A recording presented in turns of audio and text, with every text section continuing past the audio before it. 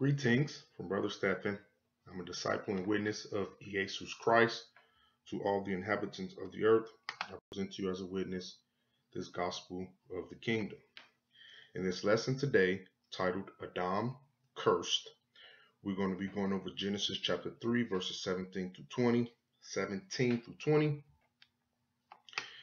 and like always, we're going to read in the King James Version, Oxford edition of 1769 which is a false translation of the Bible. And it is what all Bibles in America are pretty much translated from. Any Bible you have with the letter J in it is a false translation. And again, so we're going to read verses 17 to 20. Then we're going to get to my translation and explaining the this subsections of scriptures as we go through them again. It says, And unto Adam, he said, because thou hast hearkened unto the voice of thy wife, and hast eaten of the tree, which I command thee, saying, Thou shalt not eat of it, cursed is the ground for thy sake, and sorrow shalt thou eat of it all the days of thy life. Thorns and thistles shall it bring forth to thee, and thou shalt eat the herb of the field. In the sweat of thy face shalt thou eat bread, till thou return unto the ground, for out of it wast thou taken, for dust thou art, and unto dust shalt thou return. And Adam called his wife named Eve because she was the mother of all living. So now we're back at Genesis chapter 3, verses 17 to 20. We're going to read this in the Lord Stephen version, which is, I've been working on this translation. I've been working on it for the last three years. We kind of updated the book of Genesis this year. So again at verse 17, and unto Adam he said, Because you have listened unto the voice of your wife, and have eaten of the tree.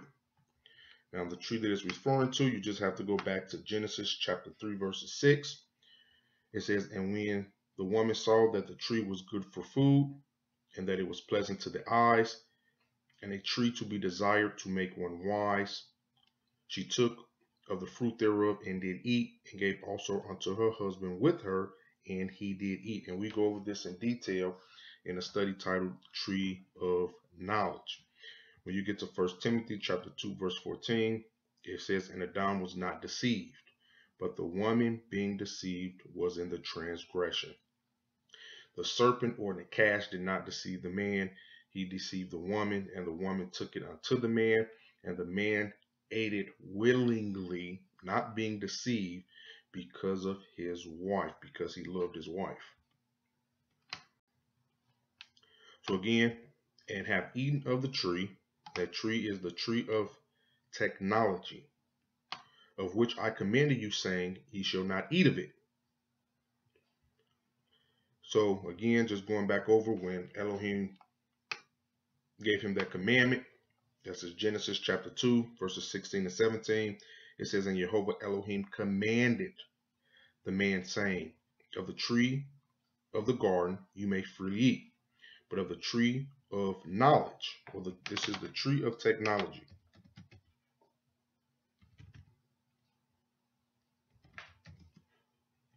The tree of technology of good and evil. technology means scientific knowledge. Ye shall not eat of it, for in the day ye eat thereof, you shall surely die. So Elohim gave him a command, and the consequences of breaking that command is death. The tree of technology, death did not come from the tree of technology. Scientific knowledge came from the tree of technology. Death came from God because man disobeyed him. When you go to Romans chapter 6, verses 23, it says, For the consequences, or the King James Version Bible uses the term wage, or the penalty for sin. Sin is violating God's commandment. If God didn't give a commandment, it's not a sin. That's why the scriptures say, where there's no law, where there's no commandment from God, there is no transgression. God specifically has to make it a sin. So again, for the consequences of disobeying the commandments of God is death. Genesis chapter 3, verses 6 through 7 says, And when the woman saw that the tree was good for food, and it was pleasant to the eyes, and a tree to be desired to make one wise, she took of the tree thereof and did eat, and gave also unto her husband with her, and he did eat. And the brains, this means their understanding, to understand scientific knowledge. It says, of them both were open. One of the things I want to point out in this lesson, if you notice, their understanding was not open, neither um, did they die or was cursed to die until uh, Adam specifically ate. So their eyes was not open or their brains was not open to understand this knowledge until Adam himself specifically ate of that tree. It says, and they were naked and they sewed fig leaves together and made themselves tie leaf skirts. And again, those like those Hawaiian skirts. They, they just didn't cover themselves with leaves in any reckless type of form. That what they did was artistic, and it was an invention. They invented um, clothing for themselves. So now we're back at Genesis chapter 3, again, verses 17 to 20, reading through my translation. And unto Adam, he said, Because you have listened unto the voice of your wife, and have eaten of the tree of which I commanded you, saying, Ye shall not eat of it. He said, Cursed is the ground because of you. So Elohim cursed the ground also because of Adam's disobedience. It says, In sorrow shall ye eat of it all the days of your life. So when Elohim cursed the ground, if you go back to Numbers chapter 13, verses 17 to 23, and we go over this in the study titled The Planting of the Garden, that everything back then was giant. Even the trees, the fruit, the animals. This was when God created dinosaurs. Everything was giant. And we mentioned this scripture to prove um, that even fruit and trees was giant. When you go to Numbers chapter 13, verse 23, it says, And they came out of the brook of Eshcol and cut down um, from hence a branch with one cluster of grapes and they bear it between two upon a staff. So basically, the cluster of grapes was so big that two men had to carry it. You got a cluster of grapes almost as tall as an average sized man. So when Elohim cursed the ground, this when he began to destroy that age, that gigantic age, that age of the dinosaurs. Because if the he's cursing the ground, the food that everybody was eating, what are all these giant beings and creatures going to eat if the ground is cursed? So this does not only affect Adam, but it uh, Dom, but it affects all living creatures. And this is when the extension, the extinction of dinosaurs began. When you go to Genesis chapter 3, verses 6 to 7, when the Nakash or the serpent is cast out of heaven, it says, And Jehovah Elohim said unto the Nakash, Because you have done this, you are cursed above all cattle and above every dinosaur of the field. So not only did Elohim curse the ground, he cursed all livestock and all dinosaurs. He cursed all life. And again, this is when the beginning of the extension, the extinction of dinosaurs began. And um, again, we go over everything I just mentioned, we go over in previous lessons.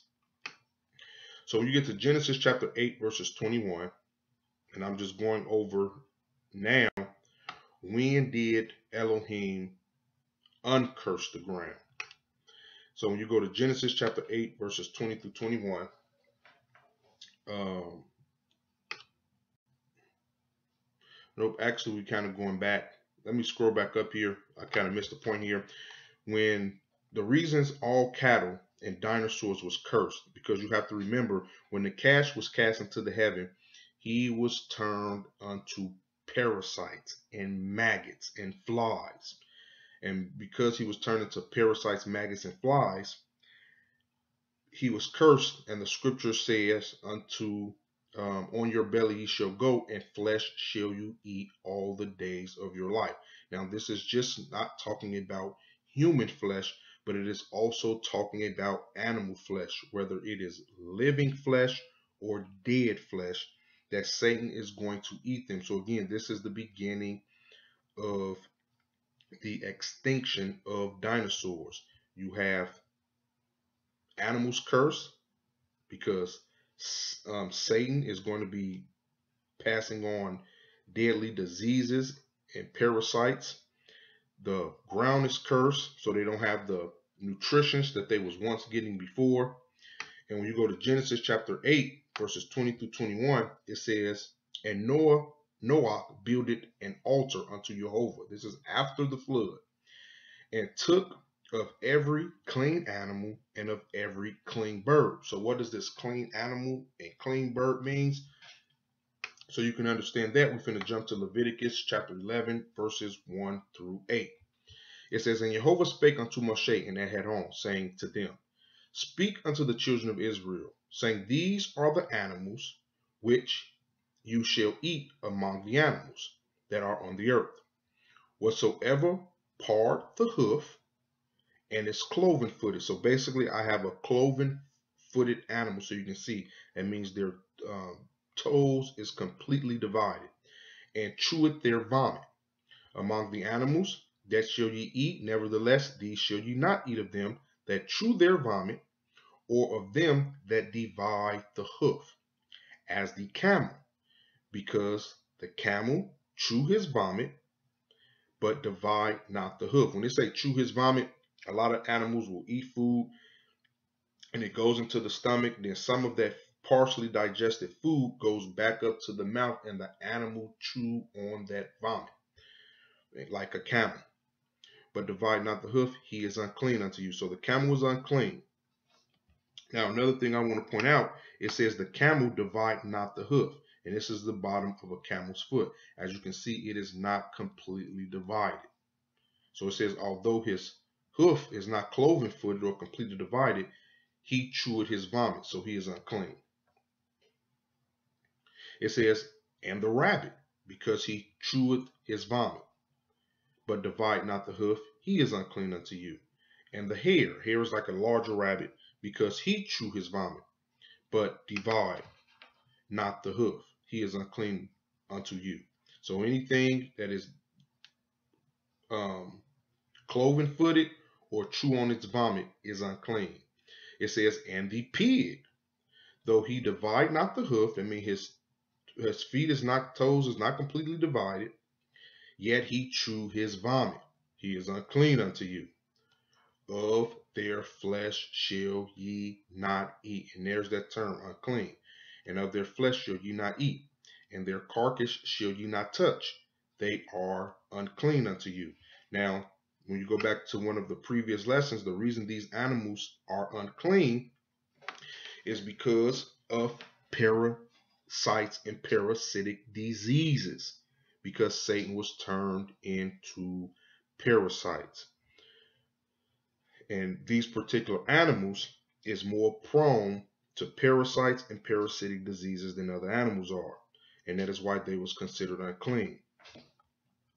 Um, and if we, and again, if you go back to the study we did of when the Nakash was cast out of heaven, we talked about how Christ, when he cast those pigs into the ocean, or he cast the demons or the parasites out of the man that was possessed with them into a herd of pigs. Then that herd of pigs fell violently over a cliff down into the sea and drowned. It was because those pigs was infested with parasitic diseases and parasitic um, parasites. Um, so another thing I just have here, and I'll try to blow this up for you real quick so you just understand this is about the pig. A pig has the ability to where it is ingesting these diseases and these parasites. As you can see, this come from a pig. A pig might eat bird poop and end up with a different type of parasite and then it might end up with a different type of parasite even from human droppings. What a pig is able to do is take all these strands and mutate them into a new strand. A lot of diseases come from these unclean animals who mutate these parasites and these diseases and these mutations. And, and if we eat that meat, that unclean meat, that's that meat, as you can see, is got like a maggot up there representing being unclean. Once we eat that, those parasitic diseases and parasites end up in our body and ends up in our intestines. It, it can ends up in our heart, end up in our tissue. And that is why these animals are unclean. Now, another thing I want to talk about, and we're going to get into a little bit of this scientific knowledge that once Adam and Chavah ate from the tree of technology, these this is the type of knowledge that is open up to us now. And I want to explain, one of the things I want to explain is how parasites are able to mutate um, human DNA. So basically what man, the DNA in a human man is made up of, it is called a um, nucleoside. And there's basically four different kinds. Um, we just call these A, T, C, and G. And that's kind of represented here. Now, these um, nucleosides, as they bond, they eventually form DNA. As DNA continue to bond, they form long strands of um, basically genes or genomes. Now, within those genes, they wrap around proteins. And um, there's all different type of proteins throughout our body depending on its function. But the, you basically have DNA wrapped around proteins. Now, this DNA that's wrapped around proteins is wrapped around what we call chromosomes. These chromosomes are it forms a nucleus. These nucleuses is what form cells. Cells is what form our tissue, our flesh, whether it's muscle, nerves, or meat, um, skin, it comes from cells. And then eventually these this tissue that is formed is what organs come from we have basically the organs, which is our heart, intestines, liver, and so on. Our brain is one of those organs. Our nervous system is connected to our brain. All of our veins is connected to the our heart organ. So this is basically an organ. All the veins in your body is connected to the heart. That's an organ. All of your nerves are connected to your brain. This is your nervous system. It is an organ. The bone structure that we have is an organ. And then the flesh that cover us all up to make us look pretty on the outside, our skin is an organ. Now, to go back to chromosomes, all people have 23 chromosomes in their bodies. And again, these chromosomes that we have in our body they reproduce themselves over and over again. Every last cell in our body is a is a copy or reproduction of the same 23 chromosomes. Um, so again, just to make sure I'm explaining right, every cell in your body has the exact same 23 chromosomes. They match each other within every cell. Now, and again, these so these are these are chromosomes. Chromosomes is what make up cells. We get our chromosomes. This purple represents the chromosomes that come from our father. The blue represents the chromosome that come from our mother. We get one from our father, one from our mother, or from the sperm cell and from the um, woman's ovary. That's where we get um, chromosomes from. One from the male, one from the female. Now, these chromosomes, I'm going to scroll back up here. They're basically two chromosomes next to each other. And again, that's what this represents, those chromosomes. Those chromosomes, when you're infected with parasitic diseases and parasites, and including these and including microscopic parasites like these, HIV, hepatitis B, these are demons. These come from parasites. They're parasitic diseases and viruses that come from parasites that come from flies.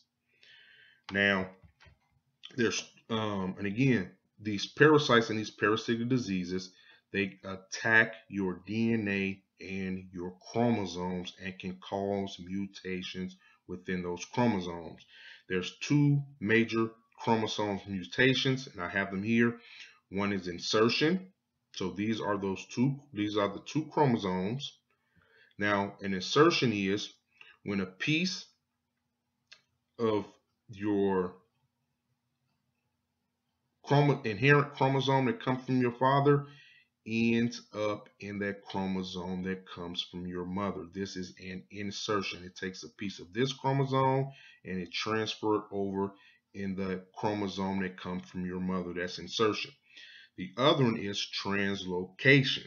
And as you can see here, it um, basically switches a piece of the chromosome from the male to the female and from the female to the male. So it, it swipes a piece of the chromosome. And it this and our bodies wasn't designed for this. This is what happened when we um, just from parasitic diseases, mutations, and um, so on. Now, there's three major single chromosome mutations, and that's deletion, duplication, and inversion.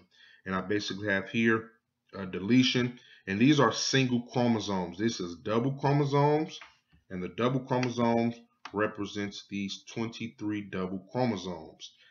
The single chromosome just represent a single chromosome, not the doubles.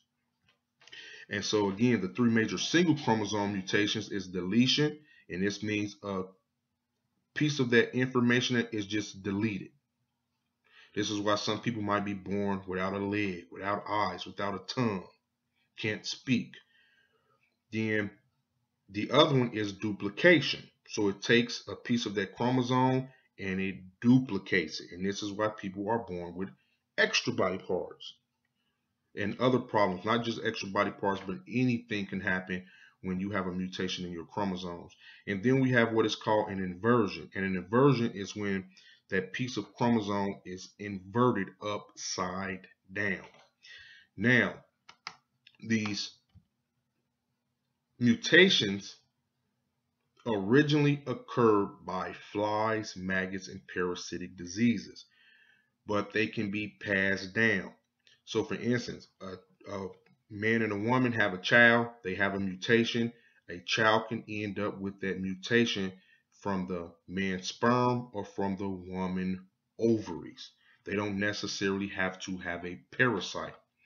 And um, the other way it can form is just a woman gets pregnant and during that pregnancy, she becomes sick and it causes a mutation in her um, DNA um, or within that um, fetus. So now we're back to, I want to jump to Genesis chapter 3, verses 14 to 15, because we're still talking about now when, um,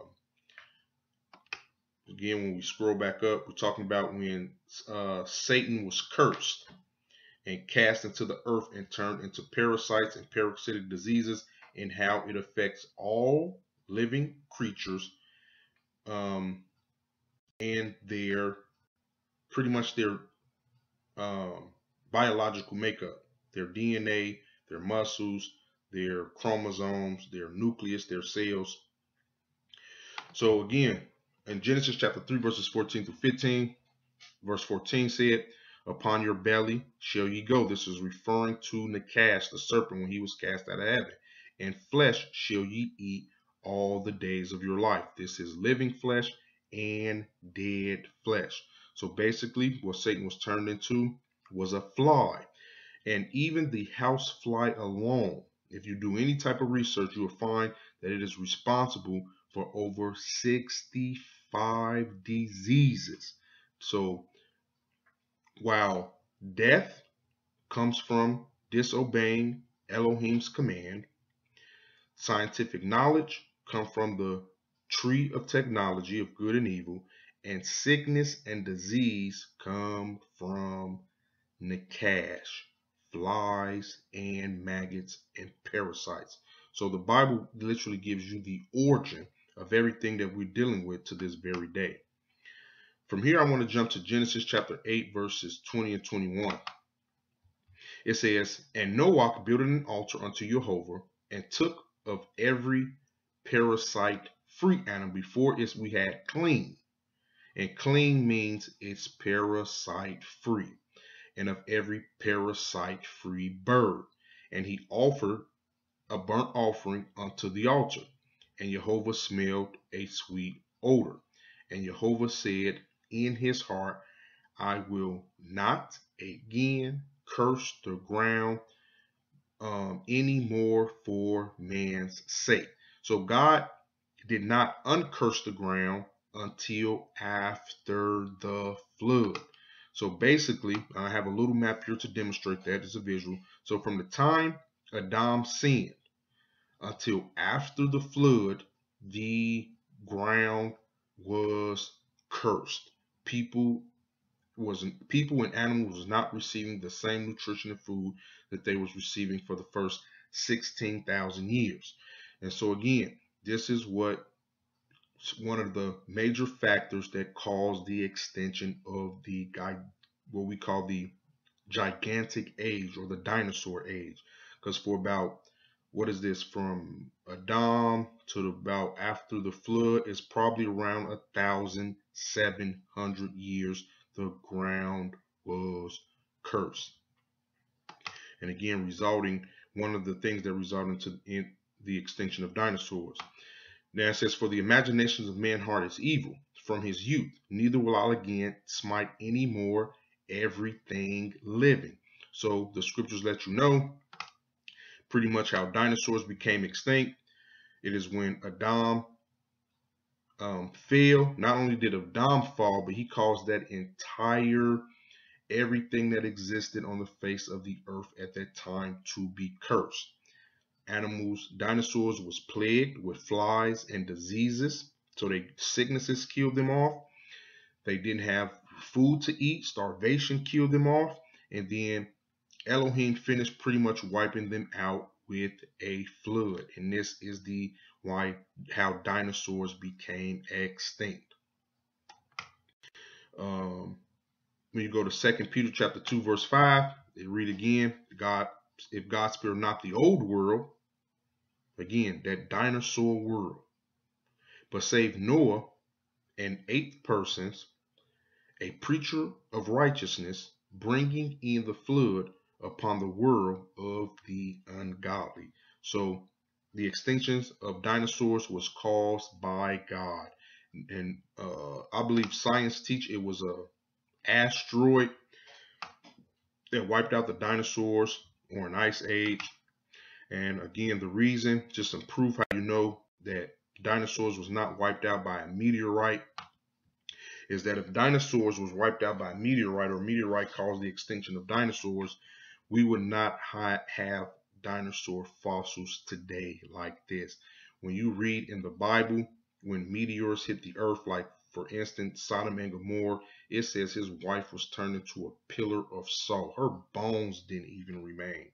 And this is the same thing with like a nuclear bomb. When they dropped a nuclear bomb over Hiroshima, those people was turned to what they call nuclear shadows, pillars of salt. Only their shadows was remained on the ground. So if if a meteorite or something like that would have caused, we would not have had dinosaur bones perfectly um, fossilized like this. Um, at the least, they'd be scattered out in a billion different pieces in a range that's so far from each other that we couldn't even imagine. But like this is how we know, again, that uh, an asteroid did not, but it was just sickness, disease, starvation, and then a flood. And again, these are just a few images to show you, you know, this is just basically proof that these animals, when they died off, had to die off again, sickness, disease, and the flood. Verse 18 says, Thorns and thistles shall it bring forth to you. This is after um, Elohim just said that the ground is going to be cursed. He's now telling Adam, thorns and thistles shall it bring up to you. When you go to Matthew chapter 13, verse 7, it says, And some fell among thorns, and the thorns sprung up and choked them. So I'm only using that verse here again to demonstrate how these thorns and thistles that's going to bring that come forth, it kind of choked the life out of um, that perfect world and those perfect fruits and stuff like that. It says, and you, referring to Adam, shall eat of the herb of the field. Now, the reason he's saying he shall eat of the herb of the field, there's a couple different things you can learn from this part of the verse. The first thing was, again, fruit, that sweet fruit that mankind was normally eating in the beginning was cursed or was gone. They didn't have access to that fruit anymore. So they start eating herbs. One thing is about herb, herbs are not sweet. Herbs are considered bitter. And I have two verses here to prove that. That's Exodus 12 and 8 and Numbers 9 and 11. It says, And they shall eat of the flesh in the night, roast with fire and unleavened bread and with bitter herbs. Herbs are not sweet like fruits or even like vegetables. They shall eat it. And then again in Numbers 9 and 11, it refers to herbs as being bitter. Now, when you go look up the definition of herb, it says any plant with leaves, seeds, or flowers used for flowering. So herbs is just that the leaves, the greens. And then it says herbs can be used for food, for medicine, or perfume. So even one of the reasons Elohim is telling him, and ye shall eat of the herb of the field, it is because mankind has now entered into this age of sickness and disease, which is caused by Satan falling from the heavens. Herbs is a medicine to the body. It help heal diseases. When you go to Psalms 104, 14, it says he causes the grass to grow for the livestock. Keep them good and healthy. It's almost like eating grass fed beef versus corn fed beef. It says, an herb for the service of man. This means to heal man. It is a medicine that he may bring forth food out of the earth. When you go to Ezekiel 47 and 12, it says, And by the river upon the bank thereof, on the side, and that side shall grow all trees for food, whose leaf shall not fade, neither shall the fruit thereof be consumed. It shall bring forth new fruit according to his month, because their waters, because their waters they issued out of the sanctuary. And the fruit thereof shall be for food, and the leaf, that's that green herb. You Go back up any plant with leaves. So again, and the herb. Uh, herb is almost anything dark green. Um, although say a flower, so any like a, a, for instance, a rose bush, whatever color the flower on the rosemary might be, those are also considered herbs. But mostly here we're just talking about them green herbs. It says there for for medicine. It is to heal the body. So if you're really sick and diseased, the cure probably for almost every sickness and disease is given right to us in the scripture. It's herbs. Eat a lot of herbs. You don't need man-made medicine. You need the medicine that God gave us, and that is herbs. When you go to Revelations 22 and 2, it says the same thing, but it's uh, again talking about the same tree in Ezekiel. It says in the midst of the street of it, and on either side of the river was there. Let's go back here. The tree of life, which bare twelve manner of fruits, and yielded her fruit every month. And the leaves, the herb of the tree, were were for the healing of the nations. So what do we need to start healing ourselves? Just herbs. When you go to Genesis chapter 3, verses 17 to 20, again, we're in my translation. We're at verse 19. Um, this is again when Adam is being cursed. He says, In the sweat of your face shall ye eat. In other words, hard work, hard labor, just to grow food, till you return to the Adamwa. Now, all Adamwa means is the red soils um, of Egypt where Adam or Adam was created. So again, we're going to jump back to Genesis chapter 8, verses 21, where it says, And Noah built an altar unto Jehovah, and took of every parasite-free animal, and of every parasite-free bird, and of every and offered burnt offerings on the altar, and Jehovah smelled a sweet odor. Uh, and look, one again, the reason he smelled that sweet odor is because it's parasite free and it is going up into the air.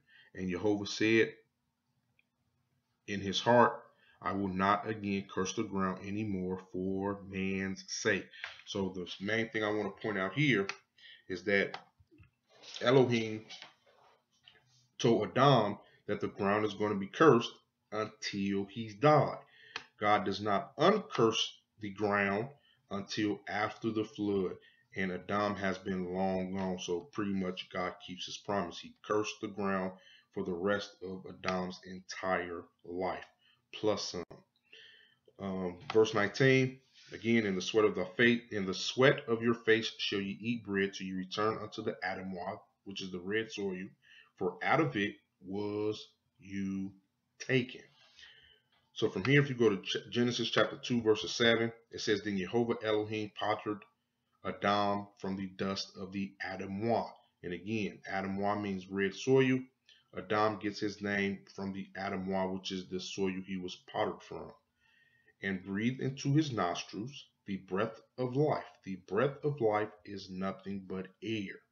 It is hydrogen, oxygen, nitrogen, carbon, and phosphorus. So this represents man being created from the Adamwa. He's pottered from the Adamwa. Elohim takes air, breathe it into the nostrils of man. And man becomes a living nephesh. Now, basically, even all of our DNA, what it is made up of, it is our DNA is hydrogen, oxygen, nitrogen, carbon, and phosphorus. Now, when it says it breathed into his nostrils, go back so you can understand what happened when he breathed into man's nostrils. He breathed into man's nostrils the breath of life, which is air, and that air began to turn a non-living organism into a living organism. That dirt began to turn into uh, nucleosides. Then them nucleosides start turning to DNA. That DNA start turning into long strings of what we call genes. Then those genes start wrapping this created protons, start wrapping themselves around protons, then wrapping themselves around chromosomes, chromosomes turned into nucleuses, nucleuses turned into cells, cells turned into bone, bone, from bone, muscle, muscle, veins, nervous system. Then from there, um, you know, flesh. And again, it created organs literally from the ground, from the dust. It turned it into organs, bone, and then eventually wrapped everything in skin. Now, man don't particularly possess that type of knowledge, but God does. But it's just a knowledge that God possesses and we do not possess. And then it says, "And the for dust you are, and unto dust shall you return." And again, it's just referring to decomposing or decomposition. He's going to turn back to dust. That body is going to decompose. Now we get to Genesis chapter 3, verse 14 again. It says, And Jehovah Elohim said unto Nakash, because you have done this, you are cursed above all living stock, and above every dinosaur of the field. Upon your belly shall you go. He turns that beautiful red dragon to a fly. flies lays eggs on flesh, especially dead flesh. It doesn't have to be dead flesh, but most definitely dead flesh. Those eggs turn into larvae or maggots. Then those maggots is what eats the tissue to reproduce more flies.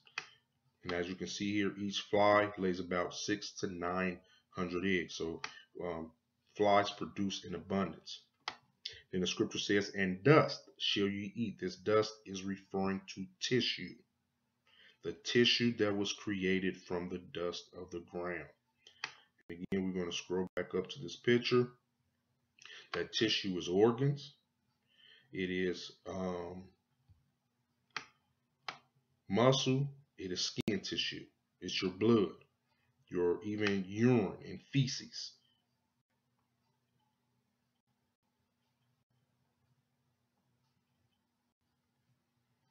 So again, and I have the definition of tissue here.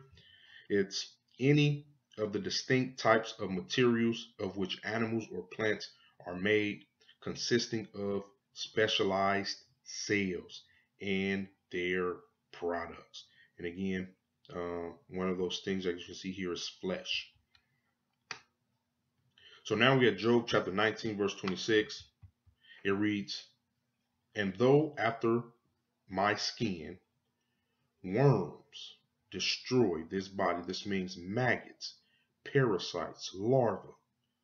This is the serpent, the cash. Is what he was cursed and turned into. It destroys means eat this body.